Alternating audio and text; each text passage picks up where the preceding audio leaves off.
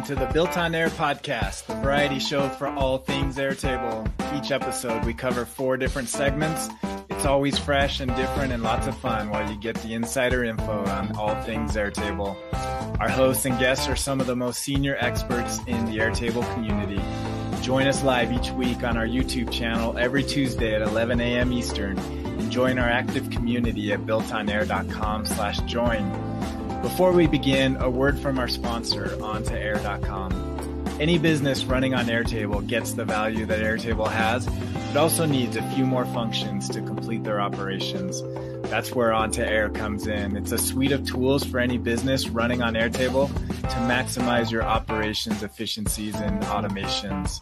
One customer, John, states that On2Air enables his business to function properly without having to think about building their own software, and that is pretty invaluable. The On2Air Airtable apps are amazing, and we use them often and are very happy with the results. So join John and hundreds more customers and take your Airtable to the next level with On2Air. Sign up today with promo code Built on Air for a 10% discount. Check them out at on2air.com. And now let's check out today's episode and see what we built on air.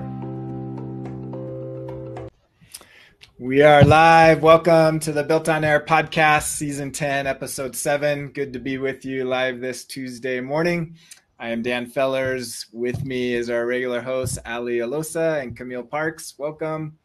Hello. Good to have you both with us again. And we have special guests with us, Cherry. Cherry, good to see you. Great to see you. Glad you could. That's Cherry. Cherry, good to see you. Great to see you. Glad you could be joining us. We'll learn more about Cherry and what she's up to a little bit later on in the show. As always, the Built on Air podcast, we spend about an hour going through all things Airtable, and it's always four segments. I'll give a quick run through of what we'll be talking about today.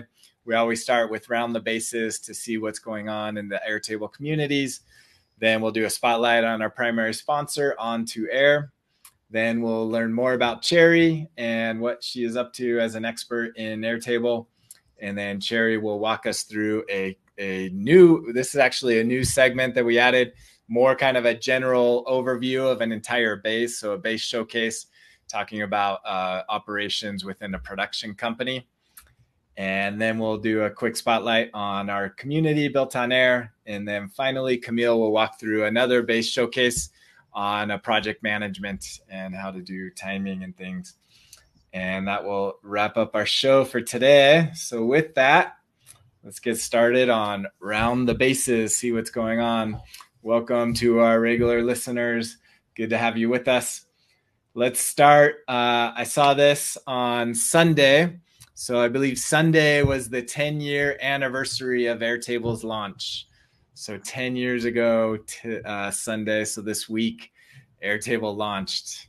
So who here was the first to use Airtable? Probably not me.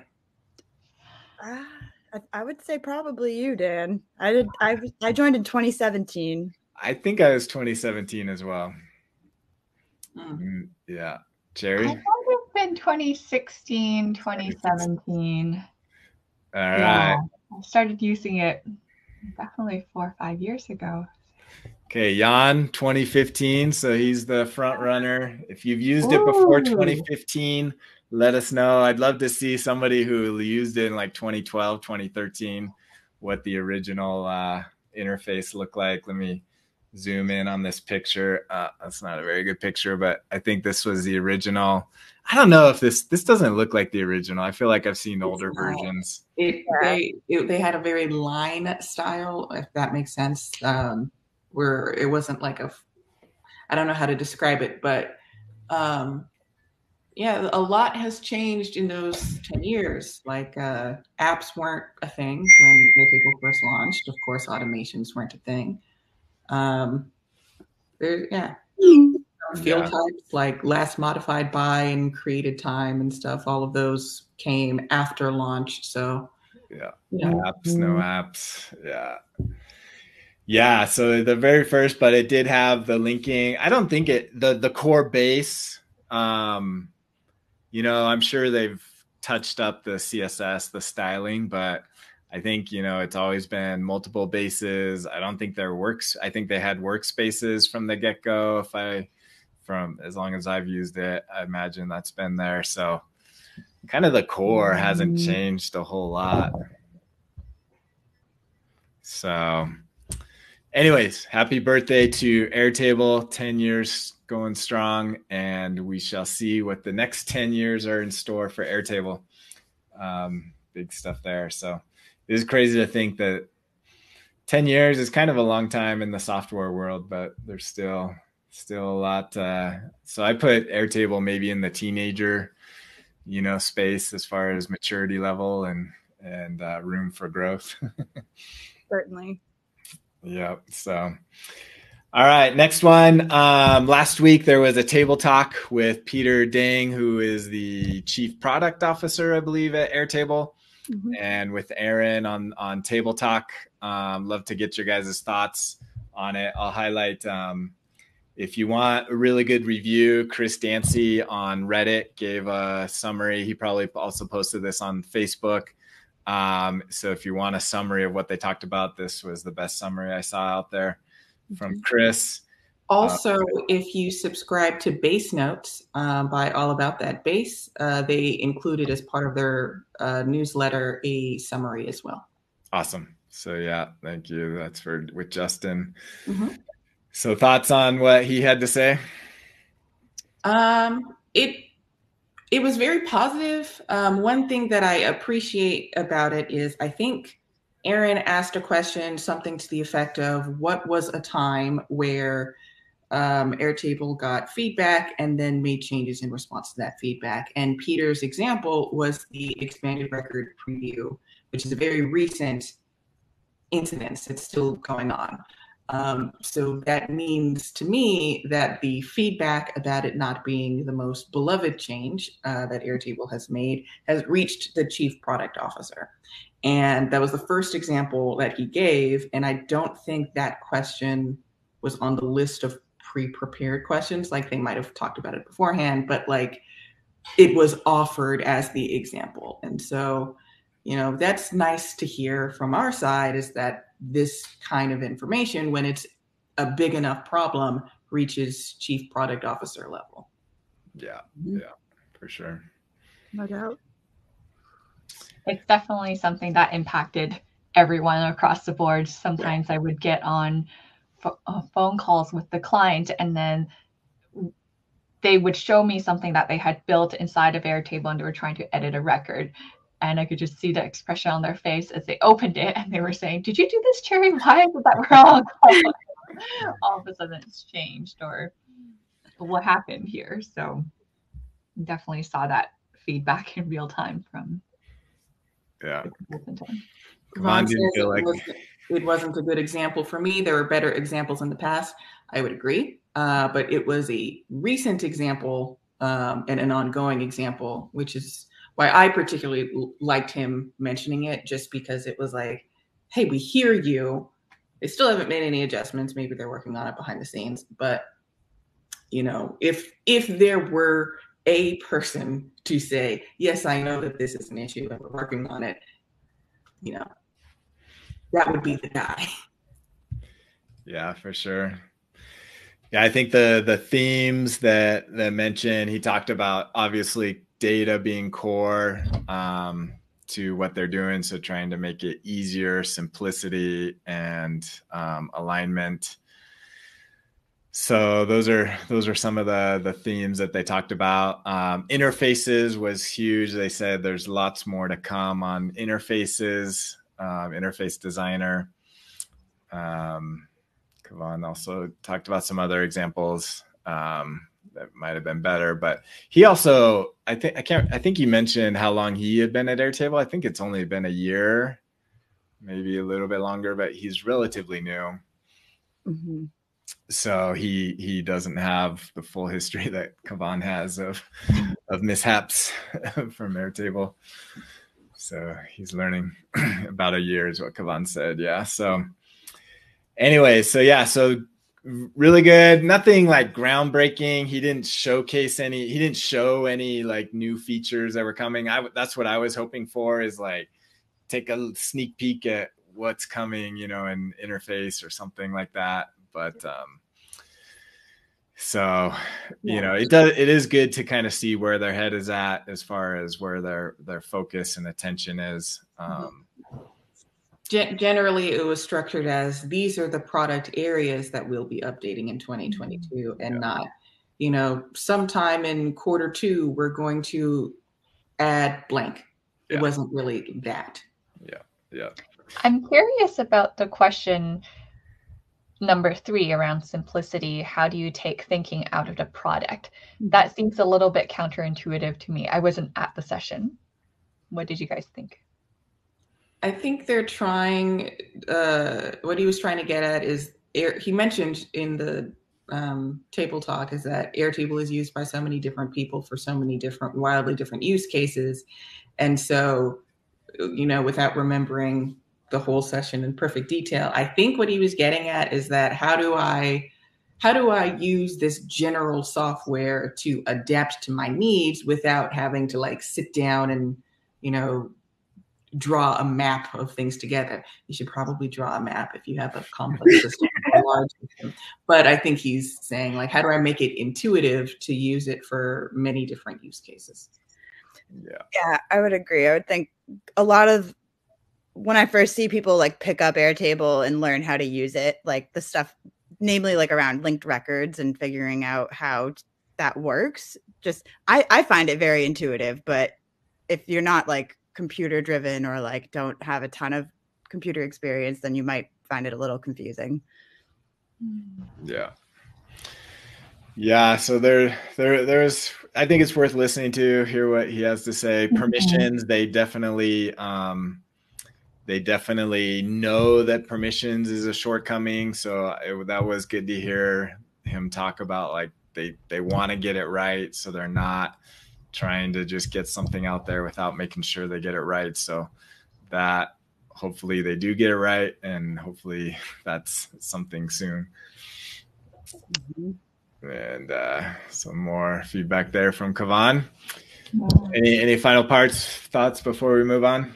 Well, I think on the how do you take the thinking out of the product piece, it's interesting because I would think I would frame it depending on the role because for the person who's building and setting up the Airtable, they have to think very strategically about how the database is laid out, whereas the person who might be using it day to day and is just entering data, that's a very different use case and experience and the less thinking they need to do, the better.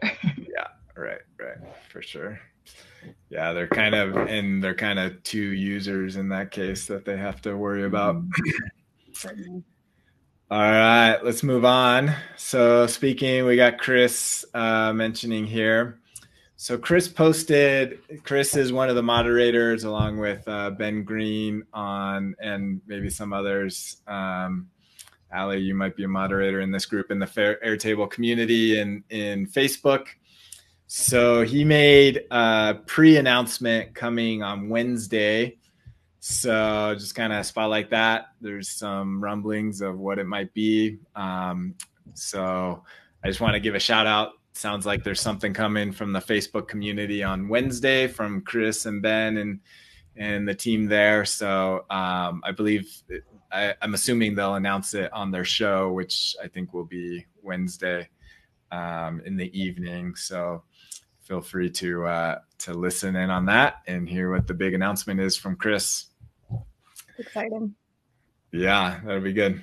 I'm excited to hear that. I was actually on their show, their last one two weeks ago. So that was my first time joining them there. So that was fun. So shout out to the uh, Facebook group there.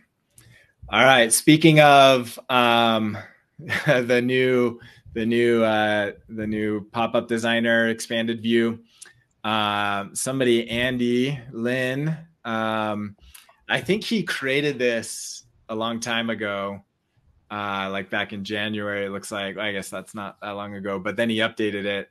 So I guess he I guess this was created specifically, but then he added some more. So if you are missing, if you want to kind of like improve the experience, um, this is what it. Let's see. So he created, yeah. So you have to create, you have to install a um, uh, a, a, Chrome extension. It's not his extension. I think there's a standard one that allows you to like insert CSS onto the page, oh, and then you copy the CSS that he created, and it will allow you to to modify the designer to be more like what they should have done from the get go when they made this change. That's interesting. Yeah. So if, actually, this one is more like the old version. So it's got above and below mm-hmm. instead of left right. So if you miss the old version and you want to see something closer to that, then here's a pretty cool hack to get that back. That's interesting. Yeah, you could do that. So, anyways, one must go. yeah, and Scott saying, "You got to hire this guy." so, anyways, shout out to Andy. Good work there for uh, putting that together. And um, hopefully, Jerry, if you've got people that are really upset, clients that are upset and want it back, that might be an option to check out. yeah, that's great. All right, let's keep going. So now we're moving on to the Built on Air community. Uh, this was kind of funny. Russell posted over here on the right uh, a fail from Airtable so Airtable allows you to write Markdown, uh, Markdown, or if maybe it just converts. Um, is it Markdown that you can write in the field descriptions? I think you can now. Or is it, or it might just convert links or U, URLs to be clickable. But the problem is, is like he mentions here, is um, you can't click on this because once you move away from the icon, then it disappears. So you highlight over it and then by time you get down there it's disappeared. So links are not usable in field descriptions unfortunately. So uh, and similar justin pointed out in table descriptions as well. So mm-hmm. there's a funny little if you get frustrated with that you're not alone. I just verified you can't do markdown, markdown. so it just knows to convert urls mm-hmm. so and this was uh, if you if you haven't seen Russell, he created a cool interface for um, Wordle. So I think his whole company does does Wordle uh, as a team, and they track all their scores and everything in, inside of Airtable. So pretty cool. That's hilarious. And he shared that with the community. I think we had it on a previous one, so check that out. Yeah, no markdown. Jan says. All right, one more from the Built on Air community. Um, this one is just our standard reminder of limitations on record limits. Uh, Ryan asking about, you know, what's the limit? How do you get more than 100K, um, even on enterprise? So that's the limit. So uh, I know this comes up often, and um, hopefully it's something that they address um, in the future. They got to figure out how to expand their record limits. But Ryan, it looks like adding three to five thousand records a day, which is a lot. So yeah, if you're if you're dealing with that much data, uh, Airtable is going to be a limiting factor. Sadly. Yeah. So the first space I ever built on Airtable was for a retail e-com company for one of my old jobs. And by the time I left that company, I think we had over 200,000 records inside of a single table. But this was before they put in plan limits and mm. any sort of restrictions. So once I realized in the newer basis that you started, you couldn't do that anymore. That was uh, huh. definitely really frustrating uh, for a long period of time. And was it super slow with 200,000? It was quite slow. We also had lots of different images in it, so yeah, it was slow to load. But in the views, in the filtered views, it wasn't too bad. Interesting. Hmm. So yeah, so I think they can support it um, more. They they got to get to at least a, a million, I think, to really be able to support enterprise customers.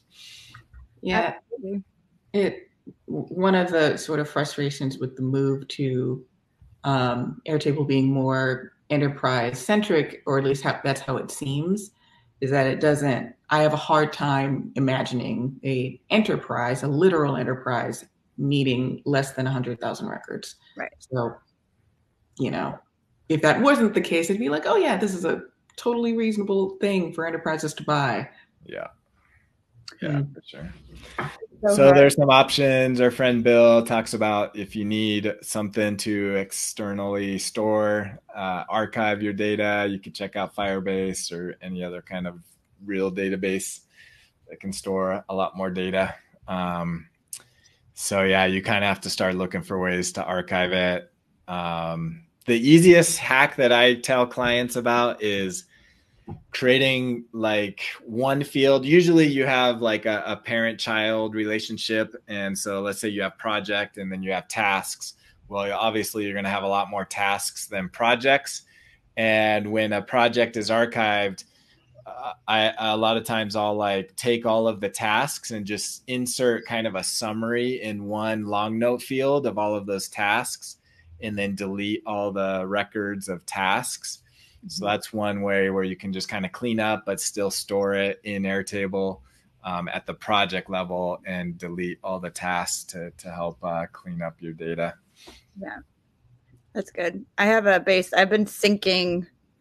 There's one large table I have in a base that I like to clear out periodically, and I sync it to a separate base, and then I toggle it to leave deleted records in the other base. I just hit 50,000 records in that table after using that for like uh, maybe close to a year. And so then I just cut off the filter on that view and started a new table.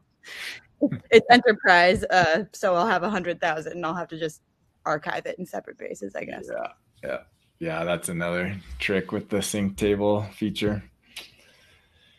All right, let's go on back to the Facebook community. Um, I think it's always good to talk about alternatives to Airtable. So somebody's asking, what are the good Airtable alternatives?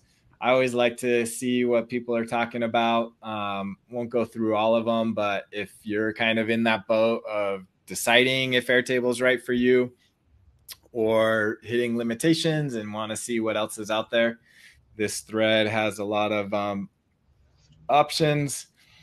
A lot of people say, you know, really that they still want to stick with um, Airtable, but there's definitely other alternatives. Even Excel, you could go back to Excel. Yeah, I that I I read this actually this morning, and the replies on that particular suggestion were kind of funny. Because Somebody was like, "I'm a data analyst, and this made me cringe." yeah, there's no context to the question whatsoever. There's Right. no sense about what they're trying to use Airtable for. Yeah. and and that's it's very important because um, if if your if your reason for moving away from Airtable is something like record limits, then the answer to you know what's a good alternative to Airtable? I need more records. That might be like just a regular SQL sort of database where you can have just an insane amount of records. But if um, you need or you want that sort of graphic interface that Airtable has, that's sort of the edge it has on all of its other competitors. Whereas, you know, the um, we talked about them before. Um, there's open source, more or less clones of Airtable that are on premises, but they give you unlimited records. Um, and I, NocoDB, that might be one, and baserow.io, I think. And then there was another one that are very similar in sort of look and feel of Airtable. There's a few sort of now core Airtable features that aren't included in those options because they're new, uh, but they give you unlimited records. So that's something to keep in mind. And I think this particular user somewhere in these comments mentioned that it was the pricing Right. that was really the holdouts, not necessarily record limits. So someone else mentioned we could probably still use Airtable, get one license, and then use Stacker or something like that to give individual access to certain data. So if you're asking for what is a good alternative to Airtable, you need a little bit more information um, about why it's not uh, the best for you. And Airtable isn't going to be the best for everyone. So you have to keep your sort of eyes on other options.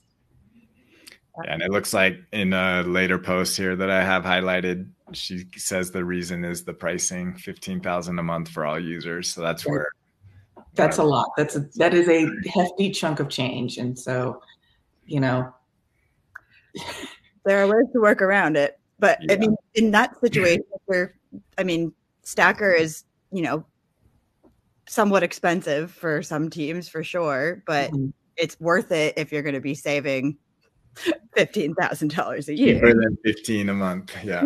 yeah. I, mean a month, excuse me. Yeah. yeah. Yeah. Yeah, for sure. So yeah, knowing what else is out there, a lot of a lot of other ones. Um I, I had never heard of Stackby or Stackby before, uh, suggested by Kenny, and I just looked it up. And it looks like pretty identical to yep. Airtable. Like there's so many Yeah. I don't I, know who came first. I'm assuming it's Airtable because it's the biggest name, but my my goodness, just yeah. sometimes they don't even try. Yeah. I think SeaTable is the most egregious S E A table. Yeah.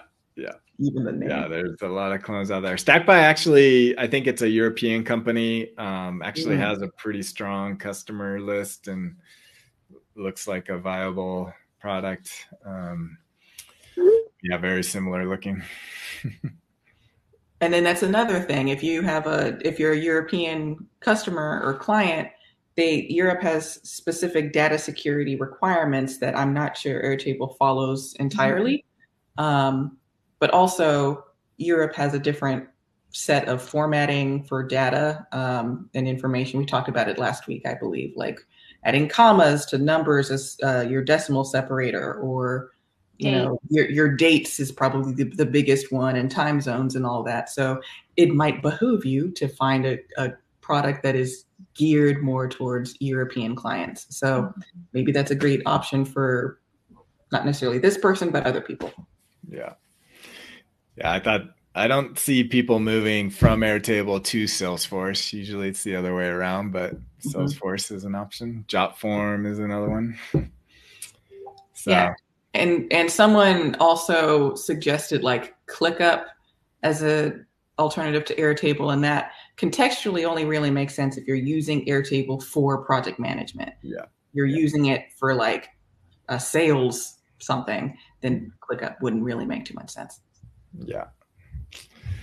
Very good. All right, let's do one more. We'll wrap up our around the bases. Uh, so this was a tweet from a Airtable employee thought this was interesting. Um, a couple days ago, um, talking about the new. I'm going to assume I'm making an assumption here that they're talking about the new. I don't know. Maybe it's a new. Uh, maybe it's a new feature we haven't seen yet, but I'm assuming this is related to the new expanded view. and basically it's a designer talk this this lo- appears to be like an internal chat amongst airtable employees um, it's clearly from zoom so there was some sort of internal zoom thing that they had and this is the chat within it. Yeah. maybe maybe it's was, something new i don't know. That's tim dang that's different right? Peter deng was the product officer. Uh, but it does look like him in the picture. Huh. maybe a brother. I don't know. yeah, that's interesting. Um, so maybe it's something to come, but uh, I wasn't a fan of the comments about this relating directly to their market cap, and I don't want them. I don't know. Seems like that's where their focus is is worrying too much a little bit about their market cap.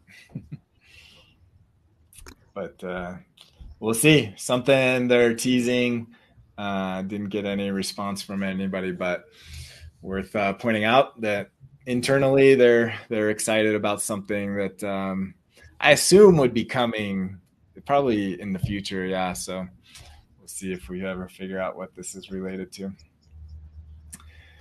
All right, that concludes our round the bases. Um, one quick plug for On2Air. On2Air is a all-in-one toolkit to run your business on Airtable. It's a suite of apps that allow you to do a variety of different things. And today's spotlight, uh, I should have Cherry with Cherry being on. Cherry is one of our uh, faithful customers and works with clients using On2Air. So I hope Cherry's a fan. we actually did a uh, we actually did a spotlight on Cherry and how Cherry uses On2Air and um, for for building invoices and things of that nature. I wasn't thinking I should have highlighted your um, article that we wrote about you. But instead, I want to just do a quick plug for our On2Air backups. And backups is best practice way to make sure that your data is stored outside of Airtable. So if you are running your business on Airtable, then you likely um, want to make sure that you have your data stored outside of Airtable. Yes, Airtable does archive and do backups of their own, of their own, but industry best practice is to make sure that you're storing that data outside of the original source. And that's where On2Air Backups comes in. It allows you to back it up to either Google Drive, Box, or Dropbox, depending on what you're already using for your data storage.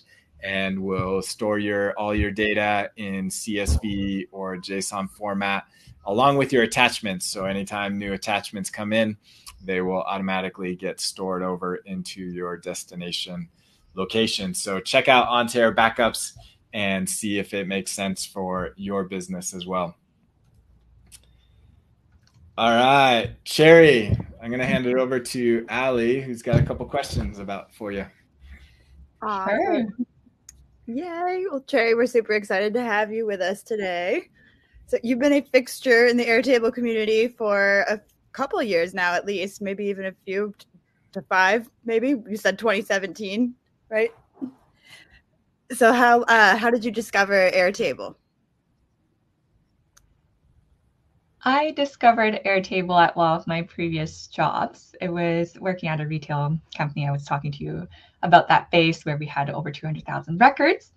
So that's really where I got my first introduction. The product was very, very different back then. I always appreciated the linking and ability to have attachments. It just made it really easy to have all your data in one place, which is awesome and something that a lot of businesses appreciate.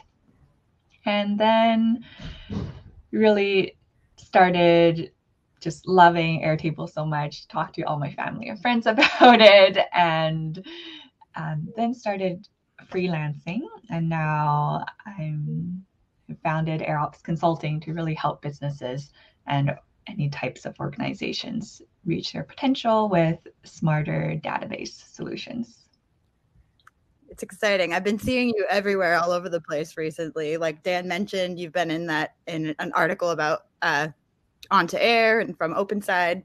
Um, and you also, I think, did a series on a CRM on YouTube. Is that yeah? Correct? That was a while back. It's definitely hard to record. it feels incredibly difficult to release videos that you know or sometimes I don't feel like meet my standards, and then other times the product is changing. So I'm like, I don't want to release something that's gone out of date. So hopefully, I'll record more videos soon. I agree. It's super difficult, right? Mm-hmm. But you've definitely did a really wonderful job with those. I look forward to seeing more. Um, is there like a, a particular I know this is a silly question in, in a way because Airtable is so flexible, but like, do, do, you find yourself gravitating towards the same type of projects or same industries? You know, I think everyone starts to build their niche. Um, you know, some people work very closely with financial companies, other people focus on geography. We primarily focus on North American clients. We've got global clients everywhere around the world. I think we're on six continents now, so that's very exciting. Uh, but from an industry perspective, I've really worked with many different types of industries, anywhere from retail to nonprofits to um, production companies, which we'll talk a little bit more about later today, and um, financial services, professional services and technology, so all sorts of companies. It is very flexible. So I find the core of it is really when you're getting consultants, we help you with the strategy in the beginning. Mm-hmm. And that's the most valuable part of working on engagement together. I think so too, right? Getting the structure down is is probably the most important of like starting to build that app. Getting that structure mm-hmm. right can go so far in the long run. Yeah, exactly. And it makes everything so much more scalable. I always have people reaching out to me when they say, you know, help me fix my automations. And then we look at their base, and the actual problem is their architecture, not the automation itself. Exactly. I'm nodding because he's seen this. I think we all have a little bit for sure. it's great to see the light bulb come on where you're like, well, you could have just one automation if you put it all on the same table instead of 20. Yeah. um, well, that's exciting. So, so what's next for AirOps Consulting? Yeah, I'm in the process of building a website, rebuilding our website at the moment. So that will hopefully launch uh, towards the end of March. And I'm really looking forward to that. That's very exciting. Well, I'm looking forward to see your demo today. And where can uh, listeners go to see more about you and AirOps Consulting? Yeah, you can come to our current website, which is airopsconsulting.org we have some information about how we work, some resources that they can find, uh, some blogs about past uh, success stories with our clients. So that's your uh, place to find information and also book an introduction call with me. Wonderful. Thank you so much, Terry. My pleasure. Awesome. I, I, had a quick question. What um, at your last business when you first were in, did you bring Airtable into your the company or was it already there and you kind of had to learn it? So it was built by my manager. He was really just tinkering by himself and then eventually uh, I became the owner for it. I always tell people you have great job security if you own the, your Airtable database because it can never yeah. Very true. And your background was not technical, right? What was your yeah, background and training? Right, that's right. I attended business school at Richard Ivey here in Canada. It's a, a very business focused program, and I really got more on the technical side when I started working at startups, and I worked at a couple of retail startups. So that's really where I got uh, the technical side. And I find a lot of clients appreciate that I come from a back technical sorry operations background because I can understand their business a little bit better and like we were talking about earlier, the strategy side of databases is all about the context. Even when you're asking questions like, what's an alternative to Airtable? Well, it's impossible to answer that question without knowing what is the problem. So that's the nice thing about having the business acumen and also understanding the technology aspects. Very cool. Yeah. All right. If you want to share your screen, great. We'll move on to yours. Thank you. It's great to meet with you. And it's awesome. I love hearing these stories of people that, you know, are not technical, maybe aren't, you know, hadn't had that experience and mm-hmm. just how easy it is to grow from not having any of that background to now being one of the industry experts in just a few years. So that's awesome to hear. So we're going to showcase, Cherry, you're going to yeah. walk through a, a base showcase Definitely. on production operations. Let me share yeah. your screen. Go for it. Perfect. Great. Let me make this a little bit larger so people don't have to get too close to the screen. All right. So like we were saying earlier, context is really, really important. Um, I'm showing a production management databases. Actually, I'm showing three production management databases. And the way I think about this is I love working with clients in entertainment, whether they're building a conference or doing films or uh, creating commercials and advertisements because it's such a dynamic industry. Mm-hmm. And every single database that we've built looks very, very different from each other because every organization will have different processes. So, you know, when you're thinking about production, there are so many elements from the creative aspects, then actually filming, then post production and editing. And that's just actually creating the content. And then before that, you have you know you submit an RFP to win a project. So there's definitely a sales element to it. And you also need to keep track of all of your different contacts as well, because there's vendors that you hire, there's different equipment rental companies, there's creatives that um, might be freelancers, and there are, uh, let's say, stars in Hollywood that you might be working with. So we're going to be looking at a few different databases. I don't have interfaces or apps built on top of any of these. It's really to look at a structure of how a business could be run for a production company. So the first one we'll look at is our master contacts database. Uh, if you don't know, you can add an emoji at the beginning of your base and that will be the little icon in your Airtable. So to make it'll help make it more visual. I love doing that. So we've got a list of companies. There's also your talent roster and your internal team members and the internal teams.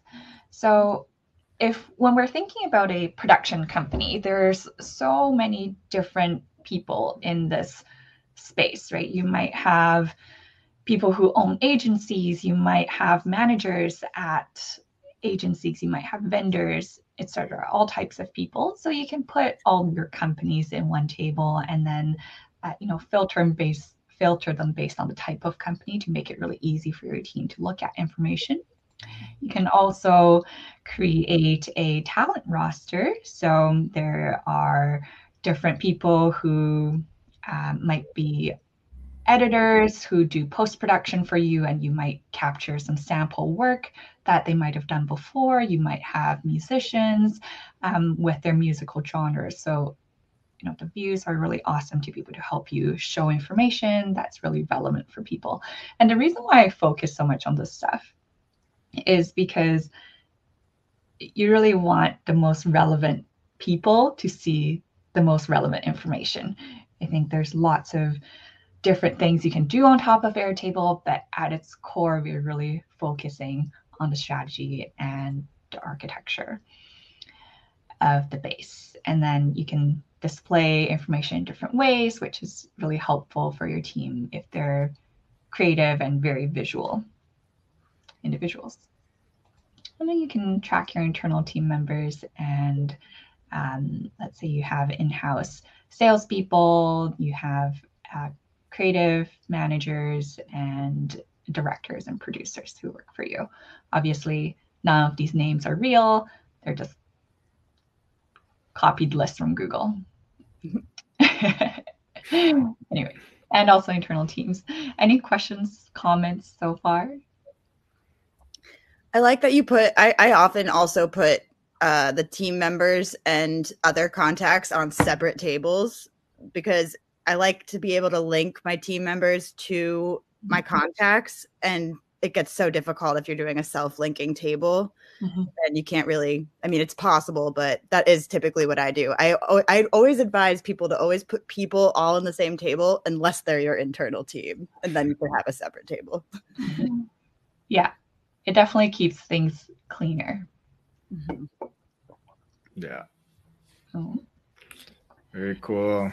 So this is our really our kind of centralized place for all of the contact data. And the reason why you could keep this separate is because there might be different teams that need access to this information and you don't necessarily want the master contacts sometimes to live on the base that rests with just one team because that means anytime when somebody needs to edit a contact and they have to go into the marketing team space and you'll all of a sudden have 10 people who work in marketing but 50 people who need to edit their base from a day-to-day basis so these are the kind of uh, you know design decisions that are really important to make in the very beginning so mm-hmm. there is some thinking required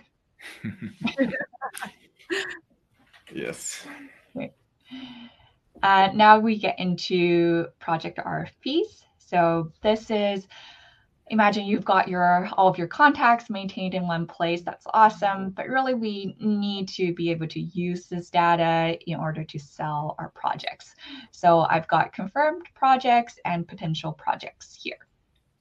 And the way i like to think about this is um, think about it like ideas or like rfps or maybe um, yeah maybe you have like ideas internally for an episode of a show that you want to do, or you might have RFPs that you're build that you're bidding on other uh, with other companies.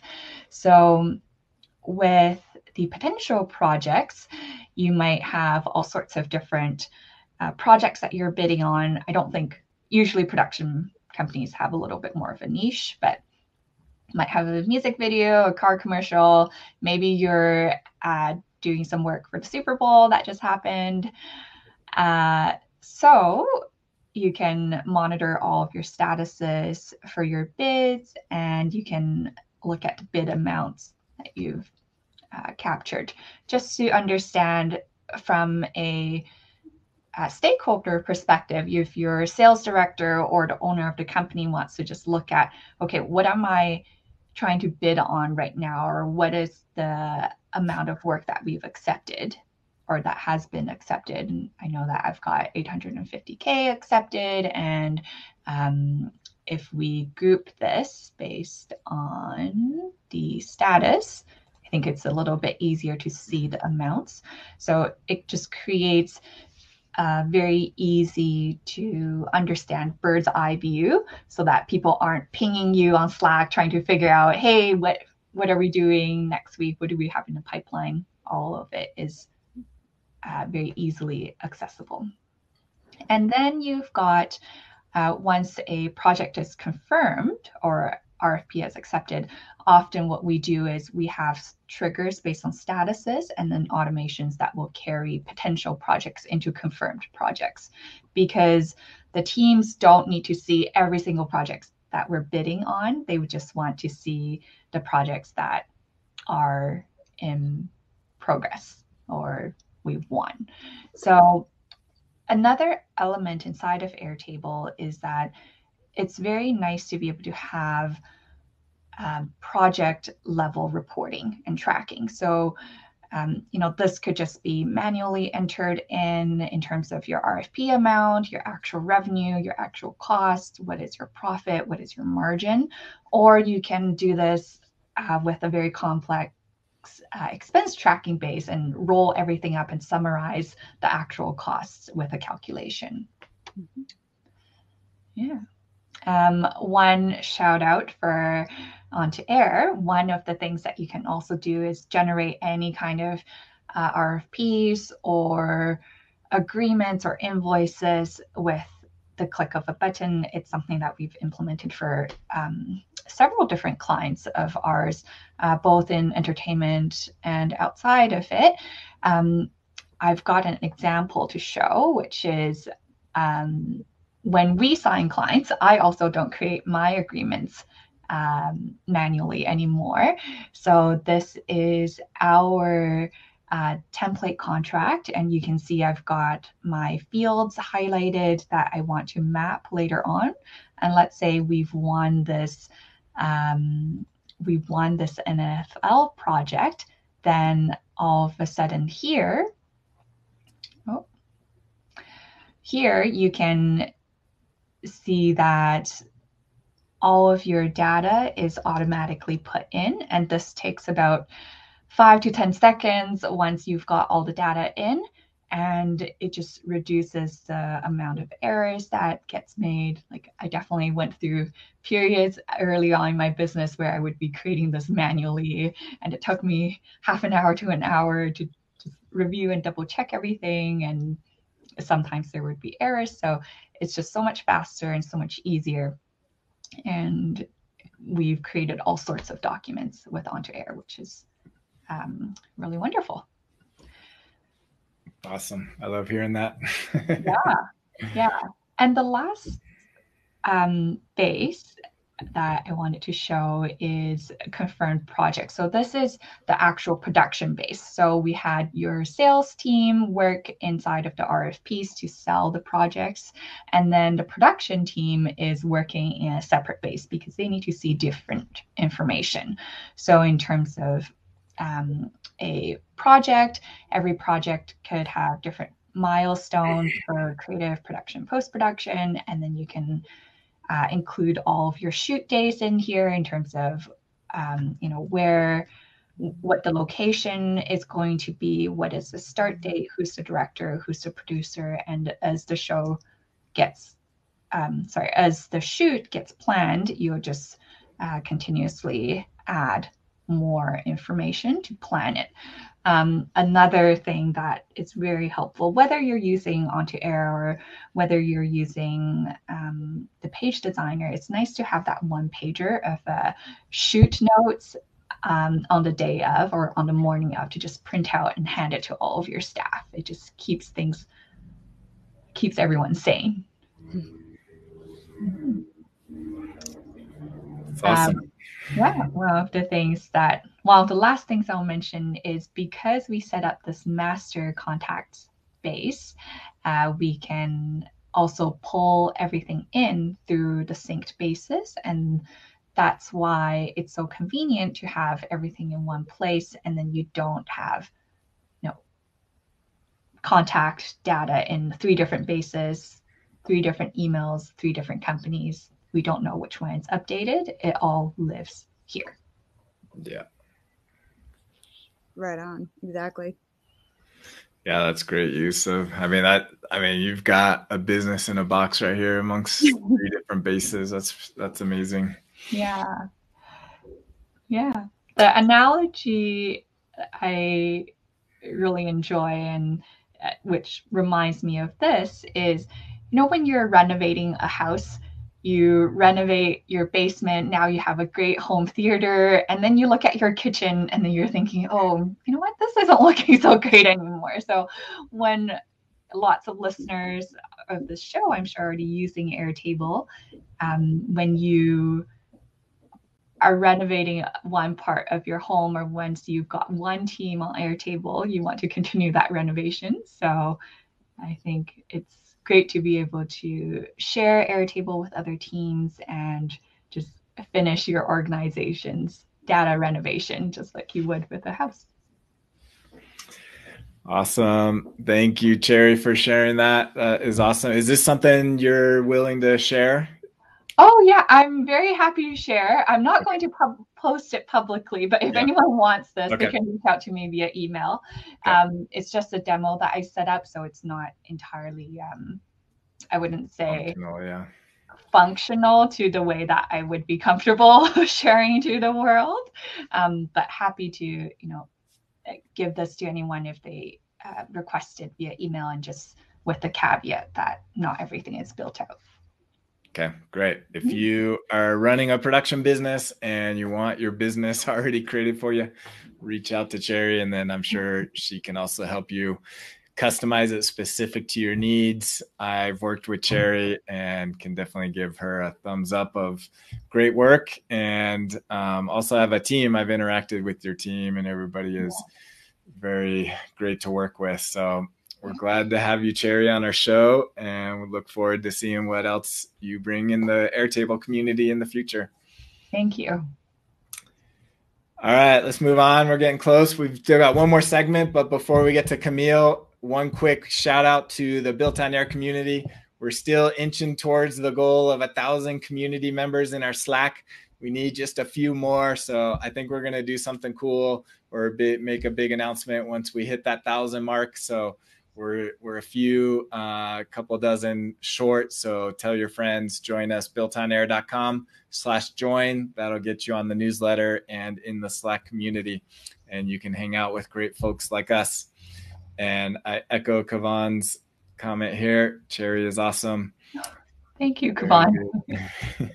Kavan is awesome too. We've collaborated. Kavan is awesome too. Before. Yeah. Yep. yep, very much so. All right, let's end. Kamille is going to walk through a project management base. Take it away. Okay. Um, so I have um, I've been toying around in Airtable in trying to make something that is sort of a recreation of what we actually use behind the scenes in uh, the company that I work for for project management. Um, for my field, we have different sort of needs for project management than um, I think other uh, typical fields are. So a lot of the uh, programs that are project management based are like focusing on people logging into it like every day to be like, yeah, I worked on this task and all of that kind of stuff. And that's not really what we needed. So um, I spent some time making a sort of generic project management base that um, I thought would put the information that we needed to see uh, right, um, you know, at the forefront. So, just to give a quick rundown, there's not a whole lot of tables going on in this space. We have projects, which each have a name. That's just about it. Um, we have tasks and deliverables, which is where most of the information is. And you can see in um, this project, this sort of different types of tasks that I wanted to keep track of. So, we have a major task, which each has a number like one, two, three, four, five, and then each task has a subtask, 1.1, 1.2, etc. Um, and then there's different things that are like kind of a task, but more like an event, like a meeting where we have to go out to the public and um, you know talk about the project with the community. And then there's deliverables, which are related to a task, but are more like things that we need to turn in. Um, so these are all different types of things that we wanted to keep track of. And on top of that, what we really wanted was to track the hours that we planned to spend on a task and how many hours we actually spent on the task. So um, that's done by person. So each person knows what they're going to do on, on a task. And it's more like, I have a different billing rate than someone else, um, like the upper management has a different billing rate, et cetera. And we have to plan for how much time is going to be spent on various tasks. All these numbers are made up. Um, so, for instance, for task 1.1 for a particular project, we plan to have person one spend five hours, someone else spend 65 hours, someone else spend 15. And then how much time did we actually spend on those tasks? Hours to add is a uh, sort of uh, a helper field where um, I just made a simple automation where it will take, if I were to type in, hopefully this automation is still on. If I were to type in eight, this formula adds four plus eight to equal 12. And then hopefully an automation will run to copy this number back to here and turn this off. I don't think that automation is on. Dang it, it's not. but the idea was that so you didn't have to do math um, at some point. Like some of these, um, I think one of these test records has a bunch of hours filled in. But yeah, so if you're if you're doing numbers and you don't want to like accidentally get the number wrong, um, that is a simple sort of field that I added just for that, mostly for interfaces um, when you view this space in an interface. It also has, um, this is something we've talked about on the show before, having a, a inline bar chart, um, which uses a formula for um, the repeat function to get a green uh, box for the relative percentage that the prod uh, that the task had been done um, and then the gray box for uh, what's not done. So you can see these tasks weren't started yet, so it's a full gray bar. This one is almost done, so it's mostly green. Um, and then, hmm? I love that. That's such a. It's it's very nice. Um, it's just a quick visual indicator, um, and then the last two fields are just based on this person's um, based on this person's billing rate, how many hours were planned. So in this case, 54 hours were planned. Uh, multiply that together, and then how many hours did they actually spend so far? 49. you can see that we're coming close to the budget for that particular task. And then the last table is just people and then the rate for people. Um, I made a couple different interface pages for this. Um, dang it. I made a copy.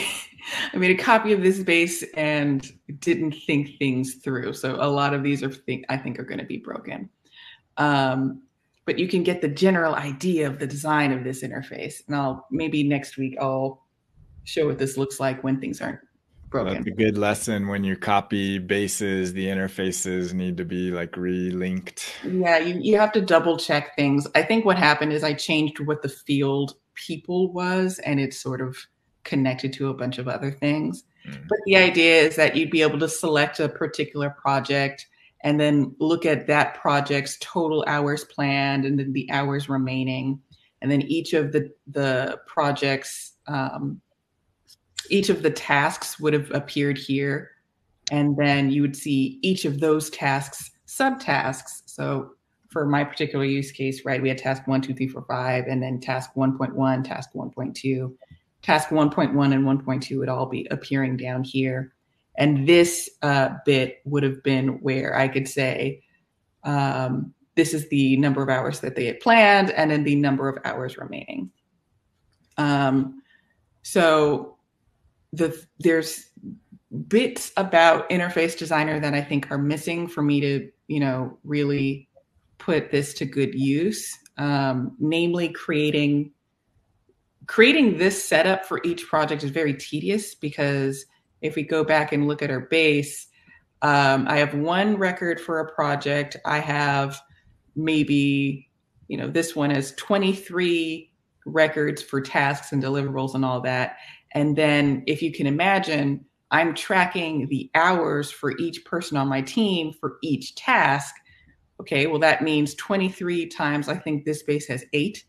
So there's that many records that I need to create for each project. And there's automations that you can run to sort of create dummy records in there, but it would be great if creating new records in an interface were easy so I don't have to do all of that. Um,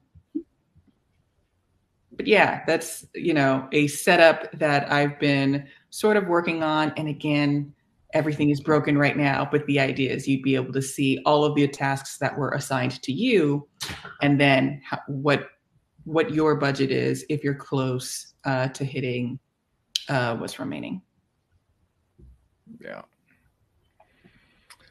Awesome. Thank you I'm for sharing that. I'm so mad that I didn't notice that things were broken every time. Oh no. Live demos. Yeah, oh, yeah. no worries.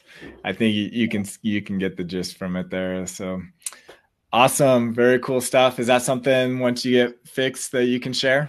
Um, I think it probably will be. Um, I'll try and make it. Um, I, a lot of the terms in there are, you know, stuff that if you're an urban planner or an architect or an engineer, you'd be like, yeah, I know what that task is. I, will sort of simplify it. Yeah. Guys, cool. I got another call. Thank you so much. Yeah. Yeah, Alli. Enjoy. Well, thanks everyone for being with us. Cherry, thank you so much for joining us. We're so glad to have you on. Kamille, as always, great to see you. Mm-hmm. And everybody, thank you for joining us. We will see you again for next week. Until then, we can't wait to see what you've built on there. Take care. See you soon.